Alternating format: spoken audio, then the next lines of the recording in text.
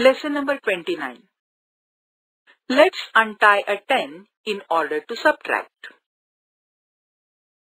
Let's learn how to unite a 10 in order to subtract. Now see how to unite a 10. There are 32 sticks, means 3 bundles of 10 and 2 single sticks. Now Let's unite one bundle of tens from three bundles and keep it with two single sticks. Now, two bundles means two tens and 12 single sticks means 12 units.